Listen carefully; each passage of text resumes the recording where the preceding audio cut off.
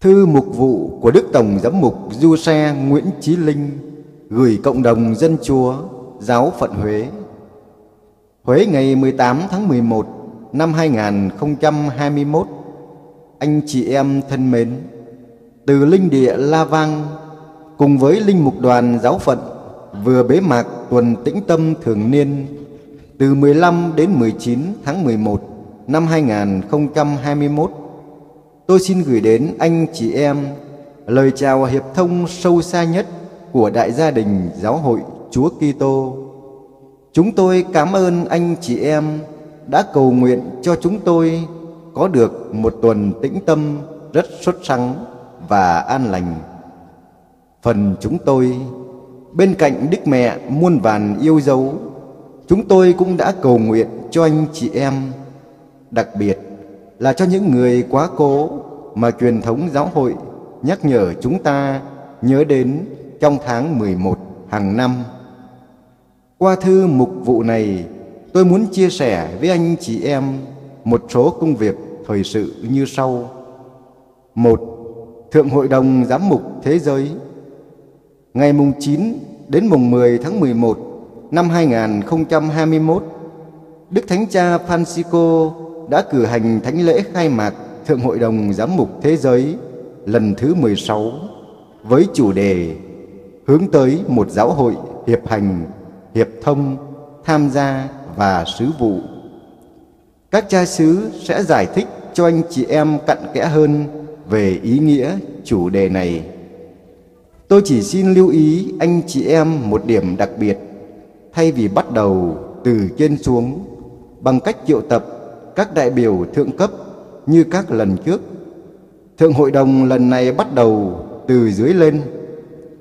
Đức Thánh Cha muốn lắng nghe tiếng nói của những thành phần thấp bé nhất trong giáo hội trước tiên. Vì thế, Thượng hội đồng lần này sẽ diễn ra tuần tự theo ba giai đoạn từ thấp lên cao. Giai đoạn 1 Giáo hội địa phương 2021 Giai đoạn 2 Giáo hội châu lục 2022 Giai đoạn 3 Giáo hội toàn cầu 2023 Để khởi động, Ngày Chúa Nhật thứ nhất mùa vọng 28 tháng 11 năm 2021 Tất cả các giáo phận Việt Nam đều chính thức khai mạc giai đoạn 1 Riêng tại Huế sẽ có thánh lễ trực tuyến do Đức Tổng Giám mục Du Xe chủ sự vào lúc 8 giờ. Anh chị em có thể theo dõi trên trang mạng giáo phận địa chỉ tổng giáo phận huế.org. Xin anh chị em cầu nguyện cho Thượng Hội đồng được thành công và khi có cơ hội, anh chị em cố gắng tham gia, góp ý tận tình. 2. Tưởng niệm nạn nhân đại dịch Tình hình đại dịch diễn biến khôn lường khắp nơi trên thế giới với hàng triệu ca mắc mỗi ngày. Tại Việt Nam, con số tạm lắng thời gian qua nay lại tái bùng phát cách đáng ngại. Chính phủ Việt Nam kêu gọi toàn dân, đặc biệt các tôn giáo, tham gia phút tưởng niệm đồng bào tử vong vì đại dịch. Theo Bộ Y tế, tính đến ngày 17 tháng 11 năm 2021 đã lên đến 23.337 người.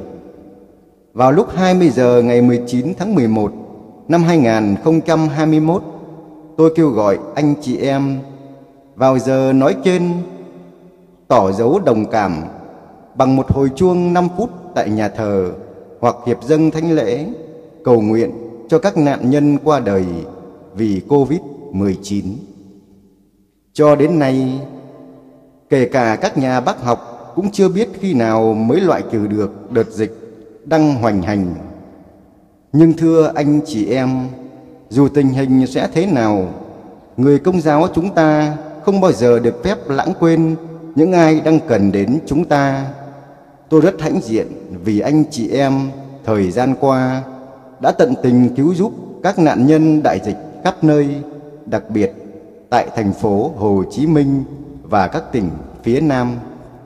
Xin anh chị em hãy tiếp tục làm như thế trong những ngày tới đây. Đó là cách duy nhất để chúng ta từng bước đẩy lùi đại dịch. 3. Giáng sinh và mùa xuân đại dịch. Chúng ta tiếp tục mùa vọng chờ đợi. Chờ đợi Chúa đến cứu vớt nhân loại đang lầm than vì dịch dã, chiến tranh và thiên tai. Cứu vớt dân tộc Việt Nam đang lâm cảnh bấp bênh, thậm chí đang trên bờ vực thẳm đói nghèo. Giữa bao nhiêu khốn khó đang vây phủ, chúng ta vẫn một lòng tin tưởng rằng chỉ có Chúa mới có đủ quyền năng để trả lại bình an cho chúng ta. Tôi mong anh chị em cảm nhận được chân lý ấy trong thời điểm đầy thử thách này.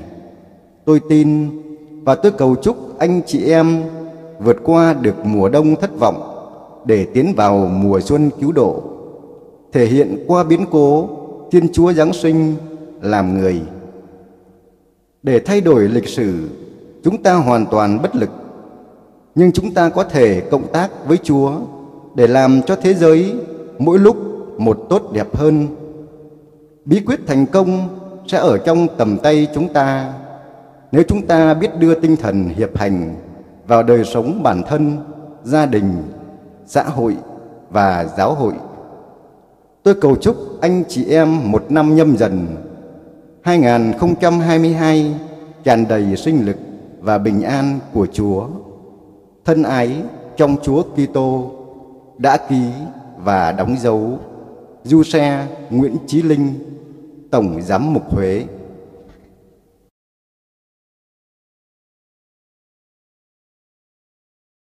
Cảm ơn quý vị và các bạn đã theo dõi kênh tin yêu Chúa. Xin mời quý vị và các bạn đăng ký kênh, like, chia sẻ và bình luận góp ý. Chúng con xin ghi nhận tất cả những góp ý của quý vị để kênh ngày càng hoàn thiện hơn. Xin Chúa chúc lành cho tất cả các quý vị và các bạn. Xin hẹn gặp lại quý vị và các bạn ở các video tiếp theo.